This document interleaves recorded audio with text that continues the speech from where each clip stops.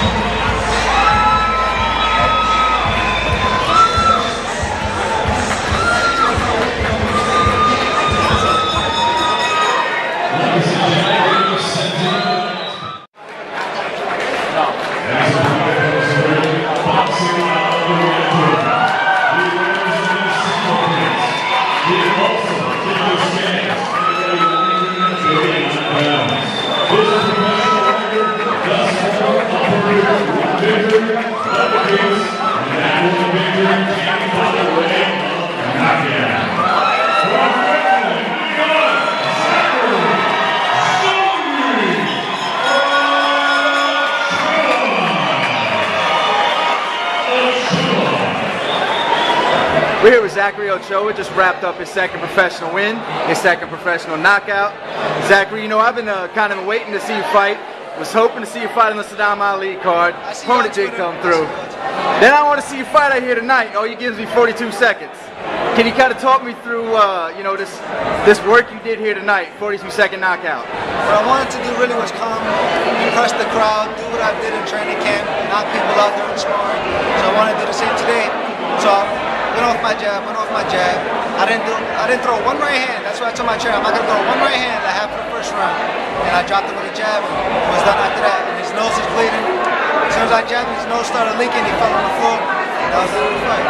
Now, after the way you saw him fall, obviously you knocked his equili- equilibrium completely off, and you saw him falling back into the ropes and really was trying to get himself right.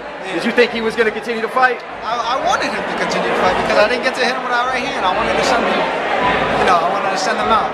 But what are you gonna do? I gotta thank God for this victory, and I've been training hard. I train hard every day, and I'm gonna be on top of the world.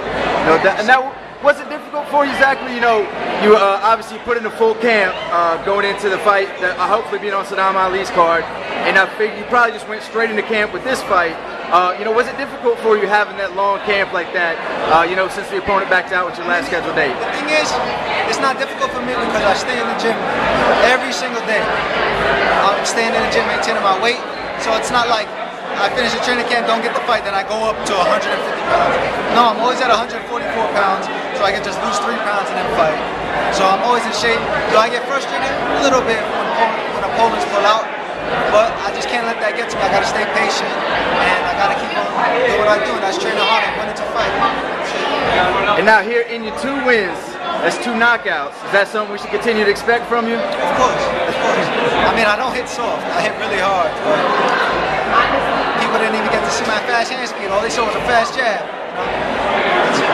No doubt. What do you think's next for you, Zachary? When do you think's the next time we'll see you back in the ring? I'm ready to fight in two weeks, man. I'm ready to fight anytime, but you know, I take a couple days off, then I'll be right back in the gym doing what I do best. No question, no question. All right, Zach, look good out there tonight. What you gave to us anyway. I'm still waiting to see a little more work, though. I'm going to have to come out the gym and catch you out. You'll see it, you'll see it, man. If you come to my gym, you can see me work out, you know what I'm saying? All right, count me in for that. We'll definitely have to do it. All right, Zach, thank you for the time. All right, Zumbi.